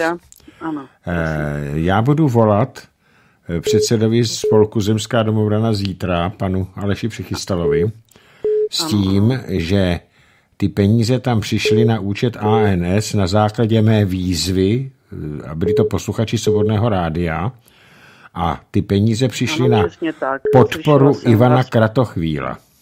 Nikoliv ano. na podporu pana Hadravy, který ho neznáme. A proto budu žádat pana, eh, pana předsedu spolku, aby tyto peníze byly použity na úhradu palmáre obhájců pana Kratochvíla. To je jedna věc. A druhá věc, eh, v tento týden do pátku Svobodné rádio dělá sbírku na postižené tornádem. Tato sbírka bude končit eh, v pátek, znova opakuji, budu to opakovat ještě několikrát, v pátek a od pondělí, v pondělí v pořadu nad dopisy posluchačů vyhlásím novou sbírku na podporu Ivana Kratochvíla, protože on je na tom finančně ještě stejně asi jako ti postižený tím, eh, tím eh, tornádem. Jsem, že syn musel prodat, byt, byt přesně tak. Tragické. Kde Takže, to žijeme, jak říkala ta... Ano, kde to žijeme. Já bych to řekl, ale ještě není 22 hodin, takže to nemůžu říct. Takže my jsme domluveni s právníkem pana Kratochvíla, že to bude ta sbírka na Ivana, na jeho obhájce, eh, dělaná svobodným rádiem. A bude se peníze počítat, eh, posílat na účet svobodného rádia, ale nebude tam poznámka tornádo, protože to v pátek končí, abychom to mohli odvést těm lidem, dokud ty peníze potřebují nutně, ale bude tam eh, jako poznávací znamení Eh, heslo Kratochvíl. Dobře, dobře. Tak je takhle. Tak jo, takže doufám, že ta moje částka doputuje potom do těch pravých rukou. Doufám. Nebo jakým způsobem to bude, doufám. jak se to vykomunikuje. No doufám, že je to jenom taková komunikační nezhoda, že přece jenom jsme vlastenci a Češi snad všichni a přejíme si pro tu naši krásnou republiku to nejlepší. Přesně tak, Ivane. Skážeš něco, paní? Děkuji. Velice stručný. Já taky vám děkuji za váš postoj i za vaši statečnost. A držte se. Naschledanou. Naschledanou. Díky moc. Tak a já teď mu další dotaz z SMSky, abych to trošku prostřídal. Vážený pane Vladimíre, vážený pane Kratochvíle, říká se, že strach zlomí i silné muže. Ale vy jste voják, zvládl jste to s úctou Marie. Paní Maruško, děkuji moc krát. Paní Marie byla první, eh, která nám upozornila, že ten účet, který jsem oznámil, že není účet na Ivana Kratochvíla, ale účet na činnost strany. Takže tato všechno v podstatě paní Marie a díky jí za to eh, jsme to rozjeli tak, aby ty peníze nepřišly eh, někomu jinému, než měli. Takže takhle. Tak mezi tím nám někdo volal, teďka tady, až zavolá znova, já vemu teda jinou otázku. No i takhle, když už paní Marie tohle píše, uh, Ivane, já už jsem se na to chtěl zeptat v první polovině a zapomněl jsem na tom. Jestli pak vy jako vojáci jste byli trénováni na to, že v době válečné můžete být zajati a můžete být podrobeni eh, výslechům a všelijakým útrapám, jestli vás na to, to trénovali nějak. Tohle nenatrénuješ. Dneska už jsou ty vyslich, metody výslechu natolik propracovány, že v podstatě není v lidských možnostech a schopnostech odolat. V podstatě se jenom hraje o čas. Dneska ne, neexistuje člověk, který by udržel informaci, kterou má, tak aby ji neprozradil nepříteli. jsou různé eh, Medicamenty, medicamenty, ano. prostě z toho člověka to dostaneš. Je to jenom otázka, je to jenom otázka času. Takže máme další telefonát. Dobrý večer, můžeme si povídat. Nebo po, můžete Dobrý povídat. večer, pane Kapal, já se omlouvám. Jenom eh, znovu volám. Eh, můj telefonát předchozí jste úplně se vrátil. Na pana Kratochvila jsem samozřejmě v Alianci přispěl tisícovkou a jde o to, že ne, pan Kratochvil určitě Alianci neublížil, ale byl vyhodnocen jako nejúčinnější cíl k rozbití aliance. Ano, to, ale to je jinak. říct, Ne, že on, Vy jste řekl, že je nejměkčí cíl. Ale on... Abych nezdržoval další. Dobře, ano, ano. Naslyšenou. Naslyšenou. Tak to je rozdíl. Pán prvé řekl nejměkčí cíl, a když to je nejdůležitější cíl. Nejviditelnější, to, dobře. to je, ano, to je naprosto to od obrácí. To je pravda. Uh, pane Kratochvíle, nechtěl byste v budoucnosti kandidovat na prezidenta? Zdravím, Eva Divišová. Evičko, tuhle tu otázku ve formě oznamovací eh, věty jsem slyšel i ve vazební věznici Ruzině, kde mi jistý příslušník vězenské služby říká náčelníku, 60 vám bylo, v Rusku jste byl, teď máte tady u nás ten pobyt, už vám nezbývá nic jiného, než začít kandidovat na prezidenta. Mně by se to docela líbilo, Ivane. Jo. tak máme další telefonát. Eh, Dobrý večer. Dobrý večer, vážený pane Kapale, u telefonu Petek z Podolí. Já vím, Pepku, já vás poznám po hlase okamžitě. Zdravím váženého pana podplukovníka. Děkuji, dobrý Nebudu- večer. Nebudu zdržovat, jenom chci vás moc a moc pozdravit. Mám velikou radost, že jste opět s náma na étu, v éteru a na svobodě. Držím vám všechny palce a pokud budu moci, tak přispěju tak také na pomoc při vaší obhajobě. To je všechno. Pane podplukovníku, pevný zdraví, pevný nervy, pevný zásady. To vám přeje vojní záloze Pepek. Dobrou noc. Dobrou Díky, noc. díky moc, Pepku, dobrou noc. No tak, eh, Ivane, co říkáš na tu podporu eh, lidí, posluchačů z podle Svobodného rádia? To se nedá normálně slovy vy, vyjádřit, prostě ty to, to cítíš, to prostě, to je něco tak nádherného, že eh, přál bych to každému člověku, aby mohl něco takového zažít. Máme tady další telefonát. Tak, dobrý večer. Já vás zdravím, pane Vladimíre, u telefonu Leoš Bučky a taky zdravím našeho známého milého kamaráda Ivana Kratochvíla. Leoši, A jsem velice rád, že je taky na svobodě, že ho slyším na vlnách svobodného rádia a doufám, že se uh, v blízké době uvidíme jak příčovek ne, nebo taky na srazu svobodného rádia. Takže já držím hodně palce, I- Ivane, drž se a kdyby bylo zapotřebí, tak i tak soud prostě postav do latě závěr tomu a, a to musí klapat. Tak jo, hezký večer a všem posluchačům svobodného rádia taky. A hodně držím palce a to dobře dopadne. Tak jo, hezký večer oba oběma. Jo, díky, díky. Eh, Ivane, pan Leoš Bucký zmínil Příčovi. Oni by měli někdy v srpnu uh-huh. být Příčovi, pokud mi ještě mi ne- neposlal Petr Hampl eh, přesně datum, my se tam chystáme taky.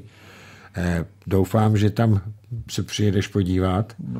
Samozřejmě p- udělám si vycházku, tak abych se vrátil do večerky. a- Ano, ano. Takže tam se uvidíš Určitě, se spoustou určitě. našich posluchačů Rád. taky.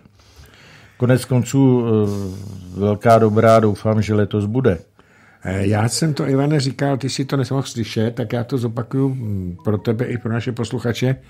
Eh, V případě, že se zruší povinnost eh, prokazovat buď testování nebo očkování, uh-huh.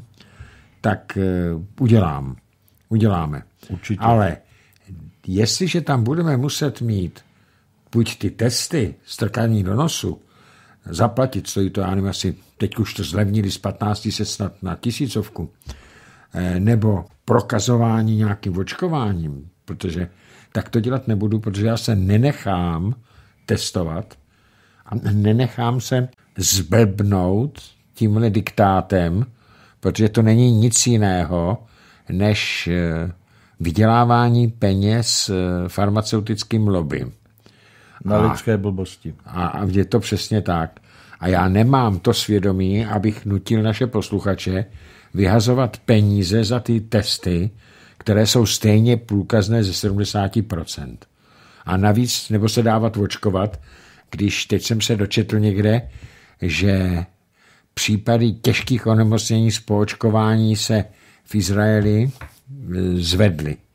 No samozřejmě, protože eh, bavíme se o viru, který jsme před 10, 15, 20, 100, 150 lety nazývali jako virus chřipkový a ten má tu zásadní vlastnost, že, se, že mutuje, šíleným způsobem mutuje. Proto taky nikdy očkování proti chřipce nemělo nějakou významnou váhu. Nefun, nefungovalo. No. A tohle to je na té samé bázi, takže to, to má ty samé vlastnosti. No. Eh, Moc zdravím do studia pana moderátora a statečného nezlobného Ivánka. Dělali jsme si v rodině starosti a pevně doufám, že si to v budoucnosti vyměníte, čili pan Kratochvíl na svobodě a červený svetr s Ulhánkem Burešem na samotce. Smekám a zdravím Petr z Prahy. tak to je skvělá, skvělá SMS. Je to krásná SMS, ale eh, otevřeně Petře, nikomu nepřeji nic špatného. A pokud někdo vytváří špatné věci, tak ať si na ty vidle naběhne sám. Já mu maximálně podržím násadbu. Je to tak, protože tady se nejedná o nějakou pomstichtivost, tady se jedná o to, že by snad konečně začala fungovat spravedlnost, i když, jak to já tak sleduju, tak té spravedlnosti nám tady valem ubývá. Mhm. Spravedlnost je nahrazena zájmy. Zájmy osobními, zájmy skupinovými. Konečně ty jsi toho názorným příkladem, protože kdyby se jednalo o spravedlivost, tak tam, tak tam nikdy nejsi. No samozřejmě. Protože politické věci se mají řešit v parlamentu a v hospodě, ale ne u soudu. Ne, samozřejmě a tady, no, co si budeme povídat, my se nesmíme vyjadřovat k otevřenému případu. Eh, Dobrý večer, pánové, smekám před vámi a fandím vám. Jsem moc ráda, že se pan Kratochvíl konečně vrátil. Držel jsem pěstičky a hlavně, že to dopadlo alespoň tak, jak to dopadlo. Oni umějí být pěkní hajzlíci. Byla jsem u výslechu 4 až 5 hodin v roce 75 a stačilo mě to. Přeji vám hlavně zdraví a v tomto případě i štěstí. Otázky raději nepokládám, protože bych se mohla dopustit a povolit mé fantazii použít neslušná slova. Tak jen držte se a vydržte. Pane Kapel, velké díky za pěkný večer. S pozdravem Zdeňka Geltlová. Paní Zděníčko, děkuju, děkuju, děkuju. Všichni, kdo jsme byli někdy u nějakého výslechu, tak eh, víme, co oni dokážou. Ale je paradox, že já jsem byl u výslechu v minulém režimu, tam jsem byl deset dní v té vazbě, ale byl jsem i čtyřikrát, šestkrát u výslechu po, po 20. roce. V novém režimu. V novém režimu. Takže já jsem byl vyslychaný eh, i před Ty jsi teda nenapravitelný. Já jsem nenapravitelný, ano, ano. A jenom za to stejné, že jsem psal předtím pravdu a říkal, a teď taky.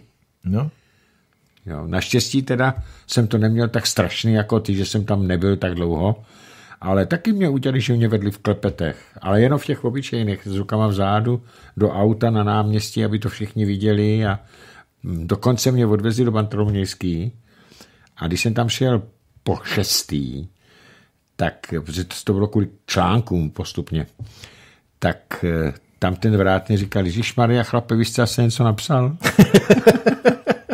Já říkám, to víte, že jo. jo takže, ale odvezli mě zpátky tehdy. no, tak pro mě si syn musel dojet. No, mě tehdy odvezli. Jednou jsem mě tam vys, vy- vysadili, že jsem volal známým, aby pro mě přijeli, ale jednou mě přivezli zpátky. Tak, eh, dobrý večer, pánové. Smekám před vámi a fandím vám. Jsem moc ráda, že se pan Kratochvíl konečně vrátil. A, to už jsem čet. Já se omlouvám, já jsem si klepnul na stejnou sms -ku. Ale byla pěkná ta sms -ka. Dobrý den, jsem přesčasná za pana Ivana Kratochvíla a modlím se, aby vše dobře dopadlo. Děkuji Bohu za svobodné rádio, že nám pomáhá a dává možnosti poznat pravdu a poznat hodnotné, skvělé lidi. Martina Havlíčková. Krásný. Ivane, jak ty Krásná to děláš? že ti tam hodně... v- Jak ty působíš na ty ženský? Jak ty to děláš? No, když je nevidím a oni nevidějí mě, tak asi dobře. ne, je to dobře, já jsem strašně rád, že naši posluchači a posluchačky eh, mají smysl pro spravedlnost a, a že mají smysl pro eh, svinstva, nebo ne smysl, ale že umějí rozdělit, rozdělit propagandu, svinstvo, propagandu a spravedlnost. Víš, oni eh, ženy výrazně dřív eh, vnímají tyhle ty věci, které ohrožují rodinu jako takovou, protože ženy jsou v podstatě stráž, strážkyně rodinného ohně, té, té lásky, toho, co vlastně drží společnost dohromady. Chlapovi to většinou dojde, pozdě a řeknu to otevřeně, i, i mě musí občas žena, manž, dcera, předtím maminka občas k některým věcem dokopat, protože jako chlap, chlap reaguje později, na spoustu věcí prostě mu nedochází, ale ty, ty, ty ženy to okamžitě vědí. My bez těch ženských jsme ztracený. No to já vím. No. Zaplať pámbu za ně. Ale tady, pane Kapale, zdravím vás i pana Kratochvíla. Nechci si přihlasňovat právě zastanou zajímavou SMS u druhé paní Marie. I když se vším s ní souhlasím. Ta informace o účtu Aliance národních sil je, a- je a, ano ode mne. Takže to je jiná paní Jiná Marie. paní Marie. Víte, mně se tady na tom telefonu neobjevuje celé číslo. Mně se vždycky objevuje jenom eh, 420 a první dvě čísla, takže já to nepoznám podle telefonního čísla. A telefonní číslo se mi objevuje celé jenom při telefonu.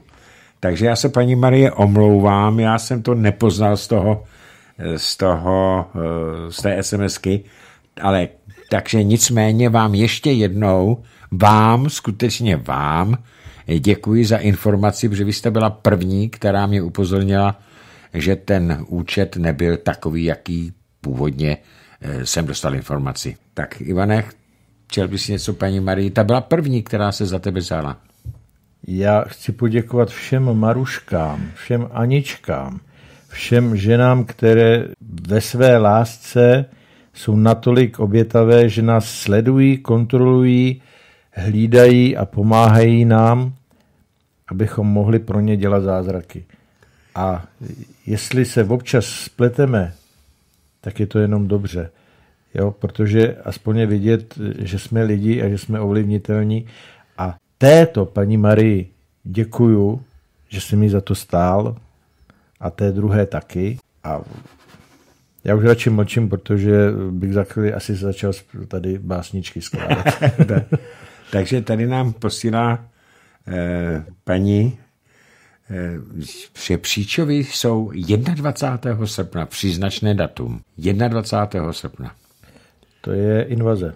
To je invaze. Ano, ano, to je invaze. No, asi bychom ji znova potřebovali, jak to na to koukám. No, já už jsem to tady říkal, eh, že několikrát rádiu, že když eh, v jedne- přišel 21. srpen, takže to pro mě byl šílený, hrozný šok, ale potom, po letech, po 89. roce, a to hned ne, ne hned ze začátku, to ještě byla doba euforická, ale to je moje otázka, jak se na to díváš ty? Strašně. Tak okolo roku, okolo roku 2010 jsem přehodnotil 21. srpen a musel jsem přiznat, že díky vstupu pěti armád nás tady čekalo eh, 20 let v podstatě klidného života. Ty lidi, kteří tam nedělali revo- revoltu, jako jsem dělal já, tak měli v podstatě klid. Jo, mě v 77. Hodin, roce vyhodili z práce, nicméně já jsem šel jezdit nákladákem, nicméně jsem 13 let jezdil tím nákladákem a jsem za to rád. Já jsem tam poznal úplně jiné lidi, poznal jsem úplně jiné názory a zjistil jsem, že v té intelektuálské rovině ty lidi mnohdy mají zkreslený pohled na život. Že ty lidi, ty dělníci, že jsou daleko větší realisti, než jsou intelektuály. Takže já jsem byl za to docela potom rád nakonec. Já díky tomu eh, svému, řekněme, poslání nebo posedlosti tou armádou, tak eh, jsem to vnímal eh, ze začátku, prostě jsem to měl jako zapouz, zapouzřený vřet nebo zapouzřený, jo, jak máš rakovinu. Ano, to, ano, ano, ano. Prostě byla to věc, která mi neseděla, která mi tam prostě vadila. Nicméně byla to realita, ve které člověk musel žít. A čím jsem starší, čím jsem prošel těch, těma školama, nejdřív že, vojenskýma, pak školama života a začal jsem studovat KOP, začal jsem eh, studovat věci teologické, tak mi tam začalo spousta věcí nesedět a spousta věcí se mi začala skládat jiným způsobem. A dostával jsem se najednou i k informacím, které předtím člověk neviděl a neslyšel, protože je vidět nechtěl. Ano, přesně tak, nechtěli vidět. A e, protože tady na to není prostor, je to, to je to na přednášku, tak to zkrátím. Kdyby ten tankový závod protože to byl opravdu tankový závod. Jedny tanky jeli ze západu a druhý tanky jeli z východu. My jsme viděli jenom ty východní, ale z toho západu tanky jeli taky. A ty tanky dojeli až k Karlovým varům a pak, když zjistili, že teda už jsou tam jiný tanky, tak se otočili zpátky a jeli. Protože naše armáda, která stála na hranicích, tak v té době byly, byla politicky rozvrácená, byla mm. paralizovaná. Zase je to odborný problém, můžeme se tady pohádat, já nevím, třeba s Martinem Kolerem nebo s kým to je jedno, ale tohle to jsou prostě fakta, o kterých se mlčí. My jsme tenkrát ve východním bloku byli jediný stát, který neměl na svém území eh, armádu. armádu. Jedni nebo hegemona. Ano, hegemona. ano, ano. Na druhé straně byl hegemon všude. Dneska oficiálně tady nemáme armádu hegemona, fakticky tady máme. Máme, přesně tak. Máme tady další telefonát. Dobrý večer, Pepa. Pepa, ahoj. Dobrý, zdravím, přátelé, vážení, jsem moc rád, že vás slyším a že jste venku na svobodě. Díky. E, fakt skvělý a chci se zeptat, jak jste to měl s testováním, pane plukovníku, e, v, ve vězení. No, vězení je specifická organizace, takže když mě přivezli na pankrás, tak mi strčili špejly do nosu, nikdo se mě nic neptal. Pak mě převezli na Ruziň, tam, nás, tam jsme byli v karanténě, tam chodili kolem nás dozorci v plynových maskách, takže ty opravdu měli konečně prostředek, který byl účinný. Ano, ano, ano. Jo? Protože ty hadry, co se obecně nosí, tak ty jsou neúčinné protože ty zachycují, zachycují částice větší než 600 mikrometrů a viry tohoto typu, o kterých se bavíme, mají velikost 80 mikrometrů, takže jsou zhruba desetkrát menší. A takže eh, ty tam byly v plynových maskách, takže to bylo účinné. Pak nám zase strčili do nosu eh, tyčku a pak už tím, že jsem byl na izolaci, tak se s nikým eh, se nic neřešilo. No. Mm-hmm protože jsme byli vlastně odizolovaní. Takže ano. zaplať no, pán Bůh to. No, já myslel, že to tam právě proběhlo třeba tím způsobem, že tím, že jste byl v té izolaci, že vás tady nikdo násilím nešťoural a tam koukám se vás taky nikdo neptal. A, a šťourali. A šťoural. A zašťoural. Právě proto, že no. tam člověk ztrácí, být, ztrácí výsadu být člověkem, a je to stejně číslo, jako to bylo tehdy, když si to tetovalo na ty ruku. A tam se taky na nikoho nic neptali, takže tady se taky na nikoho nic neptají. Tam nemáte vůbec žádná lidská práva. Je to síla, no. A doufám, že až ten soud pan Kratochvíl vyhraje, tak e, ty dva a půl měsíce ztraceného života doufám, že si to nechá pan Kratochvíl řádně zaplatit protože za těch dva a půl měsíce se tady stalo takových věcí, pane Kratochvíl, Vladimír se pohádal s Tomiem, mezi tím i jo? v jednom pořadu. A, a takový, Nepohádal. No, ne, ne, pohádal. Výměna názorů, no, taková prostě. Mám jiný, jiný názor na něco, než má on a já se tak, tím netajím. No. Ano. A, ale uh, spoustu a, a tlumu, dalšího se stalo. Tlumiče takže... na hlasivkách si neměl. Bylo úplně v klidu. Ale ono to, ono, to mělo, ono to mělo význam, protože podle posledních informací eh, ten Jirka Kobza na kandidáce bude. Zatím ty poslední informace, které mám, tak znějí takhle. Oni chtěli vyšopnout Jirku z kandidátky? Nic mi do toho není, není to moje strama, ale, ale Jirka tam by měl být. No Jirka, to je, to je můj názor taky. Právě eh, proto jsem Tomia na to neustále. Ale to, to je to. Tomio teďka, my jsme kamarádi pořád, Tomio tady měl být dneska, ale protože ho chytli, chytla nějaká choroba, covid to není, prosím vás, ale nějaká něco jiného, tak se musel omluvit a e, domluvím se s ním, až se uzdraví na nějaký jiný termín a právě toho jsem využil a proto je tady Ivan. Já bych to řekl jinak. Když se Tomio dozvěděl, že jsem tady, tak řekl, já jsem nemocný, nemůžu mluvit a dělej si to. Vem si tam, vem si tam Ivana. no. Tak jo. E, Jo, tak Pepo, jo, díky, říkám, držím mějte palce, se. přátelé, a držte se a, a vyhrajeme, nebojme. Jo, se toho. musíme, musíme. Jo, jo. Přesně Tak jo. tak. Takže Takže zatím, mějte se. mějte se, Díky, naschle. naschle. Tak eh, je to tak, ale... Eh, Dobrý večer, pánové. Moc pozdravím pana Kapala a našeho neohroženého Ivana, se kterým jsem se několikrát skvěle pobavili na setkání vlastenců. Jsme šťastní, že je na svobodě a doufáme, že je vše dobře dopadne. Teď muž, muž odeslal žádost o navrácení příspěvku pro pana Kratochvíla a určitě přispěje na obhajobu, tak, jak jste již uváděl. Asi se bude Vítová pěkně kroutit. Ještě jednou zdravíme a těšíme se na setkání s vámi všemi Monika a Luboš ze Slatíňan. Děkuji Monice i Lubošovi.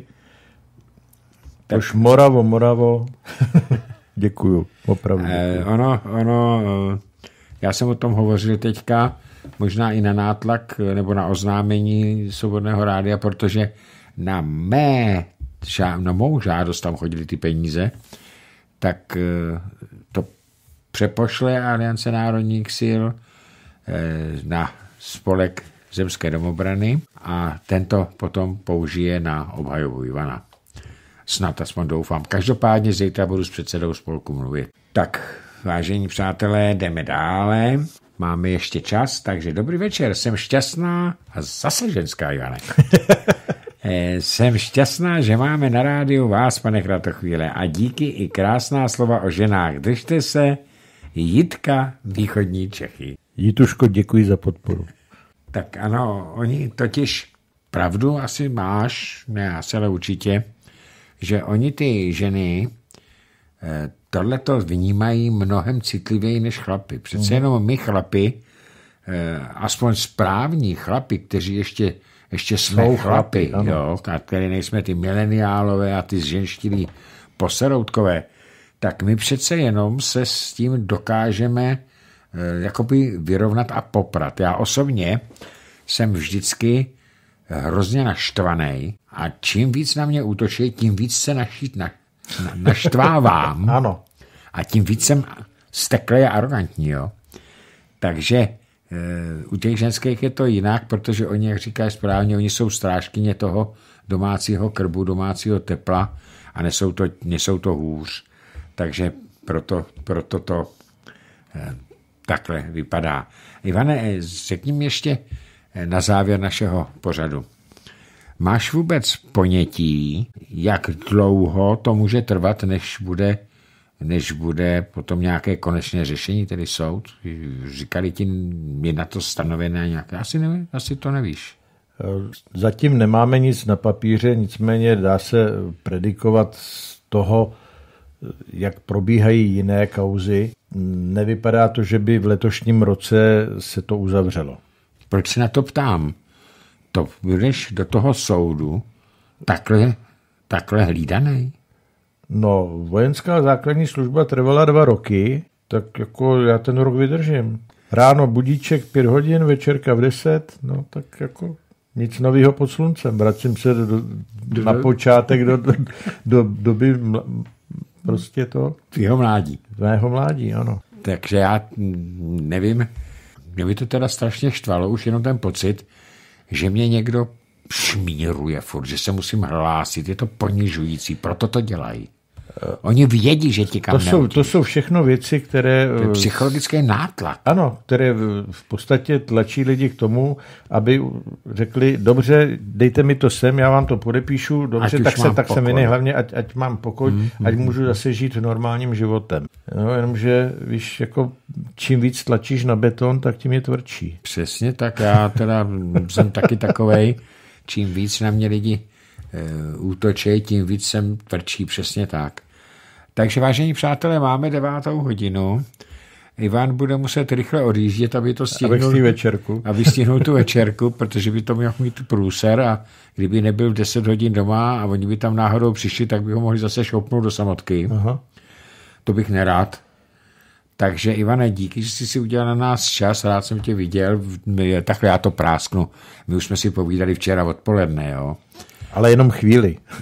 no, takže eh, jsem rád, že jsi tady byl. No a já se zase vozvu a uděláme si nějaký pořad, až budeme vědět. Já strašně, strašně děkuji všem lidem, kteří na mě mysleli, protože ať už věříte, či nevěříte, tak eh, ta podpora je cejtit. V okamžiku, kdy je člověku špatně, tak cejtí, když na něho někdo myslí a já vám na to straš, za to strašně moc děkuji. Proto jsem tady, abych vám to řekl. Tak ještě jednou díky a dobrou noc. A my všichni ti držíme palce a přejeme hodně štěstí, aby ti to všechno dobře dopadlo. Tak vážení přátelé, to bylo dnešní povídání s Ivanem Kratochvílem a Ještě furt podplukovníkem. ještě pořád, ještě tě nedegradovali, Pan ani prezident je zatím ještě na mě hodnej. ještě tě a nepovyšil tě na, na generála. ještě taky ne. ještě taky ne. Takže s podplukovníkem Ivanem Kratochvílem, no takhle, prosím tebe, on svoboda, když dával dohromady Buzulku, Tak byl tak byl podplukovník pod, taky. taky podplukovník, ano. No, ano. ano. Máme krásné dějiny. Krásný dějiny. A ono se někdy opakuje. Ano. Takže vážení přátelé, to už je opravdu všechno. Ivane, eh, díky, že jsi tady udělal si na nás čas. Já se zase někdy ozvu a opakujeme si to. Určitě. Díky moc všem. Tak a my si pustíme, vážení přátelé, typickou písničku, kterou, eh, kterou předám potom vysílání dalšímu studiu a to je Krylova Král a Clown. Protože tak přesně si já teď připadám.